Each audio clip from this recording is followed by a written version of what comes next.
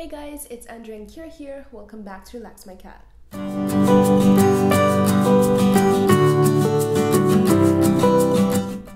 Knowing how to remove a tick from your cat is important for their health and also for yours.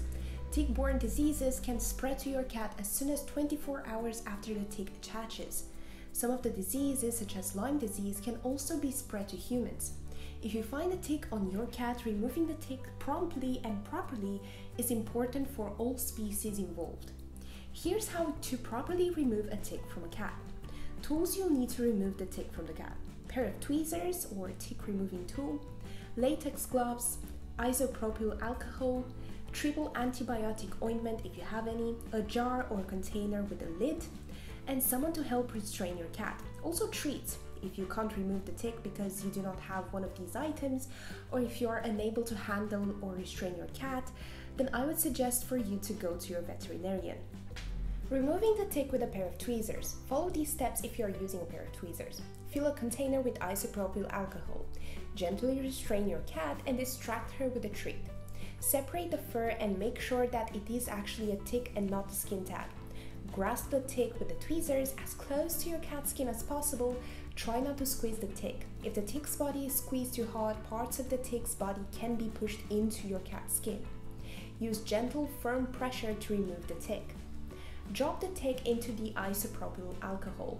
If available, put a triple antibiotic ointment on the tick bite area on the cat's skin.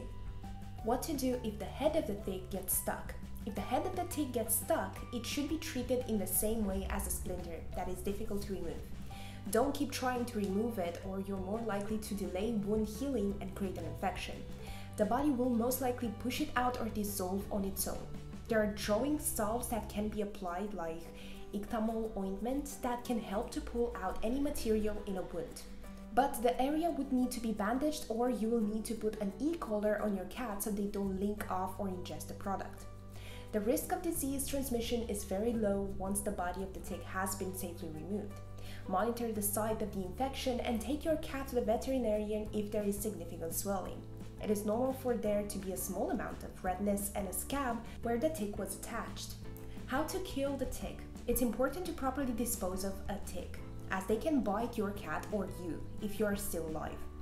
Once you've placed the tick in isopropyl alcohol to kill it, it's a good idea to flush it down the toilet. Preventing tick bites on cats. There are many options for tick control in cats.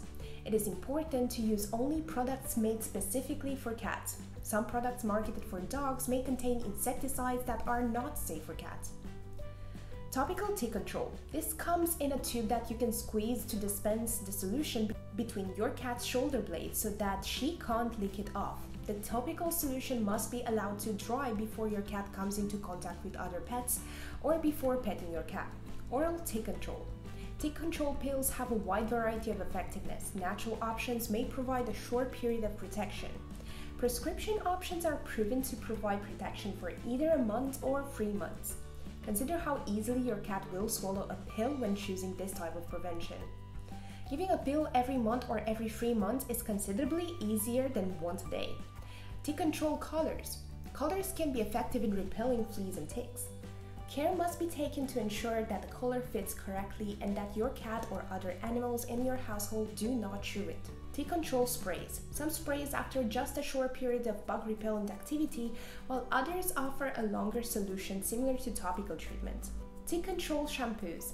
Shampoos can be effective for getting rid of an infestation of fleas or ticks, but they do not have the same long lasting effects as some of the other options, other than grudge your cat will hold against you for baiting them. If you're still unsure about which form of tick prevention is the best for your cat, contact your veterinarian. Just before you go, don't forget to tell us in the comment section if you had your cat with a tick in the past and how you got rid of it. And we might shout out your comment in the next video. This week we have Terry W with a comment from Claire's Why Your Cat's Breath Stinks video. Hello Claire and Rags, good to see you again. Yes, my cat's breath is a bit funky, however they do love fish and love to chew on the small creatures that they catch. But good news that they do like to chew on dental treats, so it's not too bad. As long as they continue to chew on the dental treats, we cannot fold the fluff. if you enjoyed today's video, please let us know in the comment section down below.